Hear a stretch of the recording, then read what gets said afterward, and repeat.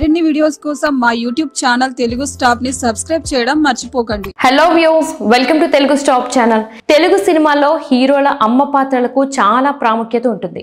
ఎన్టీఆర్ ఏఎన్ఆర్ టైంలో బాగా పాపులర్ అయిన అమ్మ ఎవరు అంటే సూర్యకాంతం పేరు వినిపిస్తుంది. ఎన్టీఆర్ ఏఎన్ఆర్ అనే తేడా లేకుండా అందరి హీరోల సినిమాల్లో అమ్మగా బామ్మగా రకరకాల క్యారెక్టర్స్ చేసింది. అయితే ఆవిడ చేసిన పాత్రలు మాత్రం జనాలకి ఇప్పటికీ గుర్తుంటాయి. అలాంటి సూర్యకాంతమ్మకి సినిమాల్లోనే పిల్లలు తప్ప నిజ జీవితంలో పిల్లలు లేరు. అయినా కూడా ఆమె ఎప్పుడు బాధపడకుండా సెట్లో ఉన్న ఆర్టిస్టులతో నాకు పిల్లలు లేకపోయినా మీరంతా నా పిల్లలేరా అని అనేదని అప్పటి ఆర్టిస్టులు చాలా మంది వారి ఇంటర్వ్యూస్లో చెప్పేవారు. ఈమె తర్వాత తరంలో మనకి అమ్మ అంటే నిర్మలమ్మ.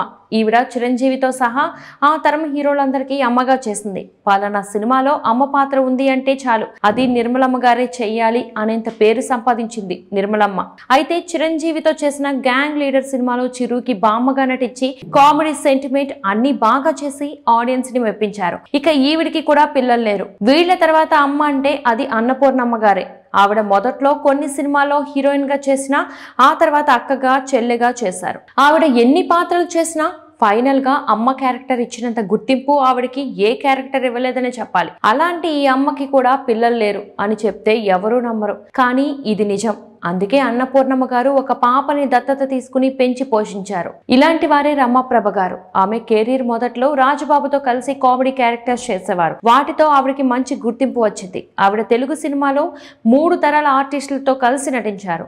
అప్పుడు ఆమె సినిమాల్లో బాగా బిజీగా ఉండేవారు. ఆవిడ శరత్ బాబుని పెళ్ళి చేసుకున్నారు. కొన్నాళ్ళ పాటు కలిసి ఉన్న మధ్యలో వచ్చిన గొడవలతో విడిపోదామనుకుని విడిపోయి బతుకుతున్నారు. శరత్ బాబుతో విడిపోయాక కూడా ఆమె చాలా సినిమాలు చేసింది. ఆవిడకి పిల్లలు లేరు. అయినా కూడా భర్త డైవోర్స్ ఇచ్చాడు. పిల్లలు లేరని బాధపడకుండా సినిమాలు చేస్తూనే ఉన్నారు.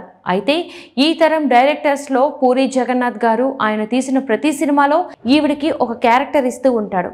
పూరి మూవీస్లో దేశముద్రలో రమాప్రభ చేసిన ఆ సన్యాసి క్యారెక్టర్ దాంట్లో వేసిన కామెడీ పంచెస్ మాత్రం చాలా బాగుంటాయి. ఈ మధ్య ఆవిడకి సినిమాలు తగ్గిపోయాయి. మునిపట్ల రావట్లేదు. దాంతో ఆవిడ వాళ్ళ సొంత ఊరు వెళ్ళి బతుకుతున్నారు అని తెలిసింది. అయితే ఈ విషయం తెలిసిన పూరి గారు మాత్రం ఆవిడ్ని తన సొంత తల్లిలా భావించి ఆవిడికి నెలకి ఎంతో కొంత డబ్బులు పంపిస్తున్నారట.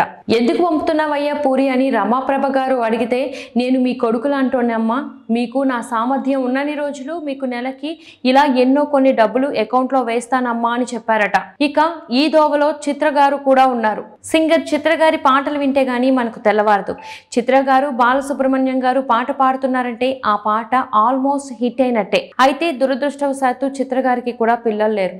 ఆమె పాట ఎంత మధురంగా ఉంటుందో కదా అలాంటి చిత్ర గారికి కూడా పిల్లలు లేరు అంటే మనకే చాలా బాధగా ఉంది. అయినా వీళ్ళకి పిల్లలు లేరని వాళ్ళు ఎప్పుడు బాధపడరు.